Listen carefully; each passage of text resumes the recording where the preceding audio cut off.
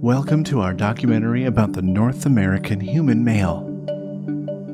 As with all species on our planet, habits, experiences, and cultural customs vary from region and social surroundings. We've decided to focus our short film on Frank Rizzo. Frank wakes up each morning bright and early to tackle the day. For this specific North American man, Frank enjoys starting his day with a vigorous workout. Workouts are never the same as Frank refuses to write any routine down and will often do whatever strikes him as needing attention, usually free weights, which are dangerous, for if he were to drop a weight on himself, it could mean certain death. And if that doesn't kill him, his wife Shiloh certainly would, purely for being an idiot and lifting too much unsupervised. After physical exercise, the grooming ritual takes place behind closed doors, but you will notice the bizarre markings on our subject's back. These are the results of a poorly supervised youth and bad decisions. Grooming complete, Frank begins his lonesome journey to Atlantic to begin his day of work.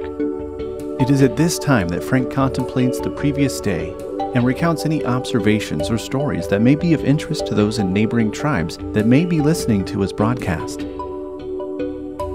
At arrival, a screening must be complete to ensure the health of the workplace herd.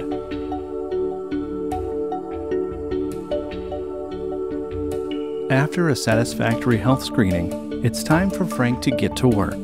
Bit of bad news to report this morning on KSOM. Pizza chain Chuck E. Cheese is asking a court for permission to purchase and destroy 7 billion prize tickets produced for its game machines. The 612 location restaurant declared bankruptcy in June, and so the tickets were printed prior to the bankruptcy, but suppliers hadn't yet uh, been paid and the tickets had yet to be delivered. Chuck E. Cheese is asking courts permission to spend $2.3 million to purchase and destroy the 7 billion tickets, which are worth about $9 million in prizes. Mm, that's where I run into a problem. 7 billion tickets are worth about 48 cents in prizes when you take into account that you can get 16 erasers, four pop and stops, and uh, well, I think you might be able to get a yo-yo if if you don't get so many erasers.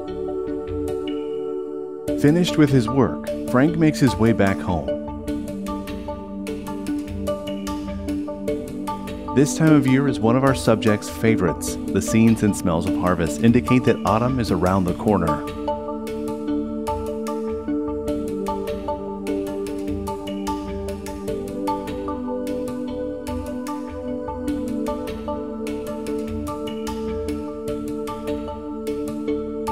As Frank arrives at his dwelling, he knows that he must again prove his physical dominance as the family patriarch.